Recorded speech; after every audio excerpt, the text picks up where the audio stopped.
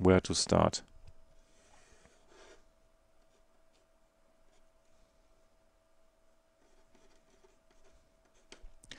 Yeah, so essentially the the Fourier transform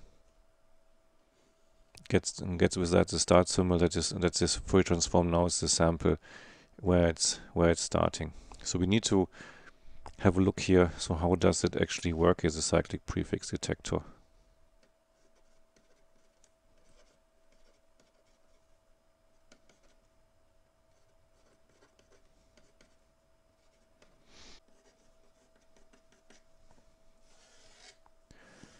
So how does it work? And the idea, the idea behind this is is obviously very simple because we have created our signal like this. So we now, so at the start, at the start of the symbol,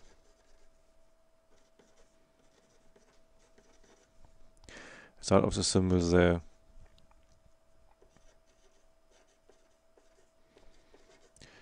So the, the delayed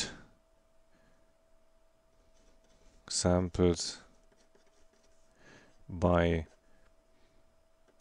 by t have been and this is important have been identical for the prefix duration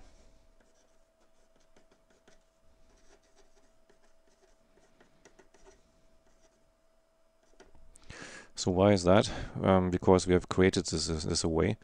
So remember, this is our our symbol here, and that's that's a prefix. So that's here. That's a symbol.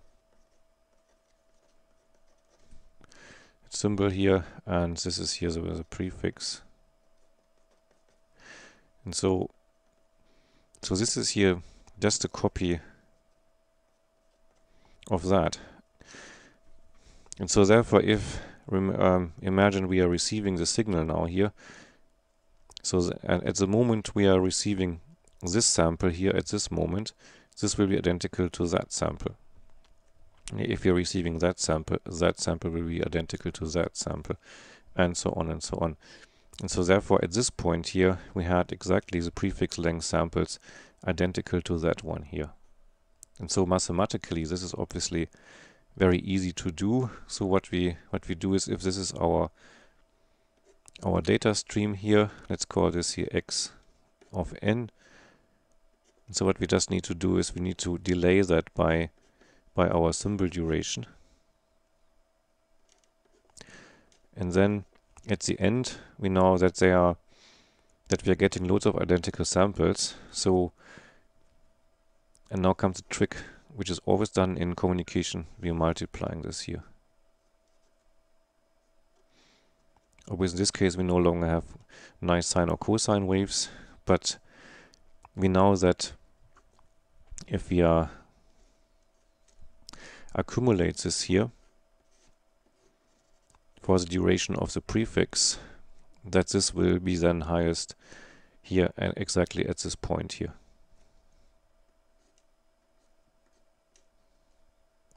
So we just need to do a maximums detection here to get the start of the symbol here.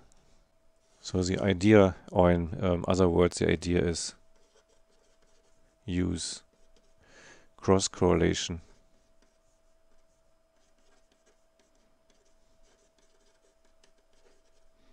use cross correlation between the received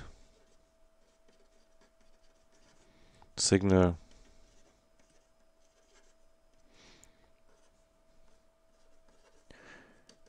and its delayed version.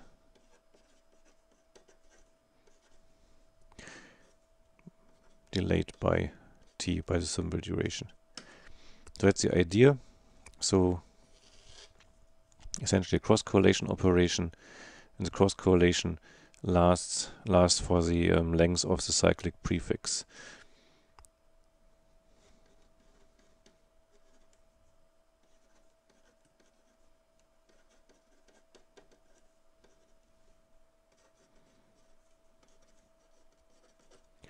lasts for the duration of the cyclic prefix.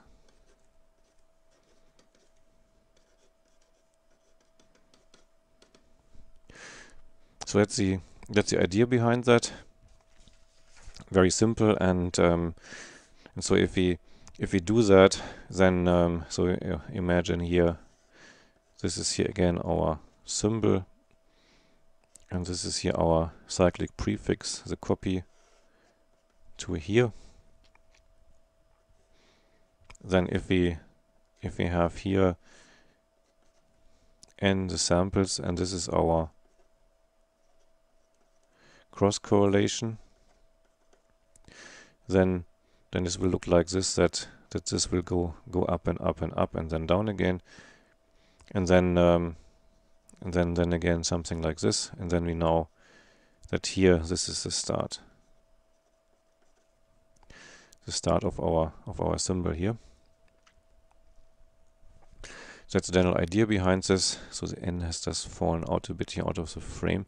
So these are here n n samples and so that's the that's the idea behind that. That's a very simple mathematical operation.